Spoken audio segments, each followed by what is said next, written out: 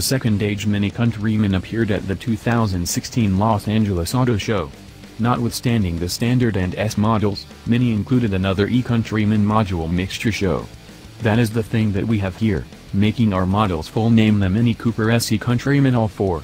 It's discernible from different models by the green identifications on the front end rays and on the charging port on the bumper. There are a couple of changes inside, most prominently a power check setup of the tachometer. The module show consolidates a turbo inline 3-chamber motor with a 7.6 kWh lithium particle battery pack. The gas motor inspires the front wheels while two electric engines control the back. Three drive modes, Max eDrive, Auto E-Drive and Save modify the measure of battery pack use, with max utilizing all battery and save mode utilizing the starter generator to keep the battery charge over 90%. The greatest Mini, for what that is worth, is still far littler than almost every other hybrid in its class. It's 3 inches shorter than a Mercedes-Benz GLA class and 4 inches short of an Audi Q3. As minimized as it may be, there's as yet a decent piece of usable load space because of the wide incubate and level collapsing seats. Our analyzer rang up for precisely $40,000 and incorporates highlights like 18-inch wheels, keyless passage and start, Cooper S warmed game seats, a heads-up show and LED lighting. Editorial Manager-in-Chief Greg Migliore, the main thing I don't care for about this Zapped Mini is its name, Mini Cooper SE Countryman All 4. That is a sizable chunk. You'd most likely simply say you purchased a module electric Mini Countryman and move from that point.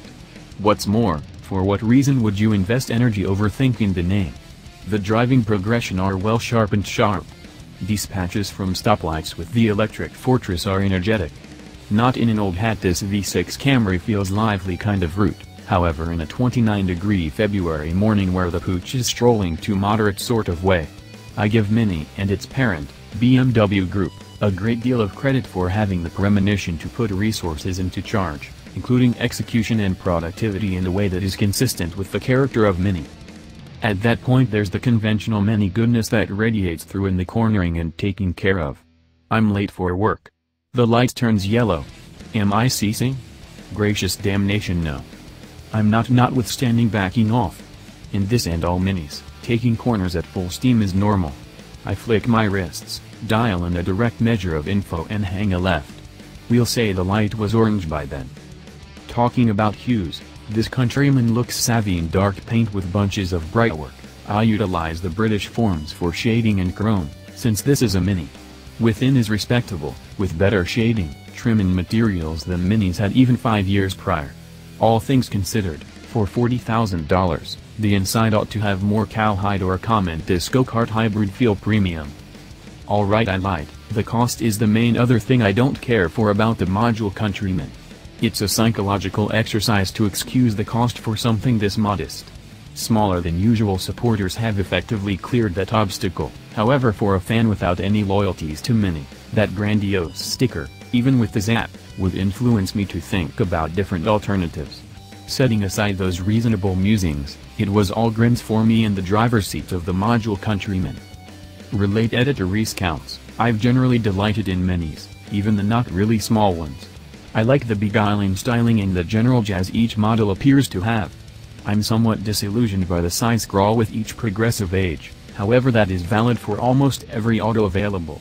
The Countryman still feels smaller and deft, and that is the thing that I truly need from a Mini.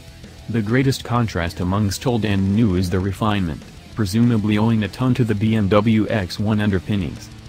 It's speedy, as well.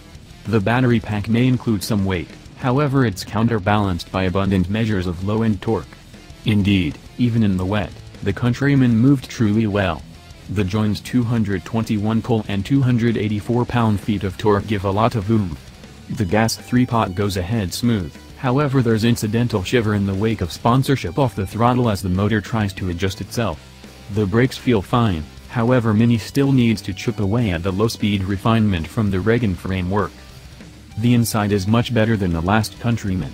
I'm happy that the speedometer has at long last moved behind the guiding wheel instead of the inside, however the heads-up show implied I never truly took a gander at it.